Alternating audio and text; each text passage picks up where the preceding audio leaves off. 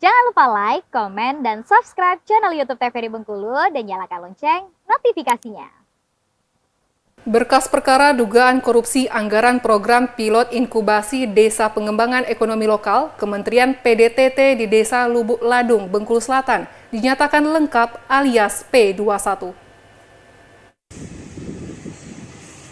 Tersangka kasus dugaan korupsi anggaran program pilot inkubasi desa pengembangan ekonomi lokal yang bersumber dari Kementerian Desa, Pembangunan Daerah Tertinggal, dan Transmigrasi berinisial SS segera disidang. Kepastian itu setelah berkas penyidikan tersangka yang berprofesi sebagai guru ASN P3K di salah satu SMA negeri di Bengkulu Selatan tersebut dinyatakan lengkap. Kepala Kejaksaan Negeri Bengkulu Selatan, Nurul Hidayah mengungkapkan bahwa jaksa telah menerima berkas perkara limpahan dari Polres Bengkulu Selatan tersebut. Sementara menunggu berkas dilimpahkan ke pengadilan, tersangka SS tetap ditahan di rutan kelas 2B mana keterlambatan waktu ya mungkin nanti ya mungkin ada ada ada sanksi administratif yang harus mereka ikuti.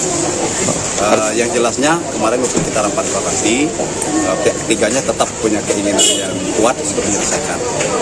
Mungkin nanti akan ada keterlambatan, tentu ada denda keterlambatan tapi juga macam.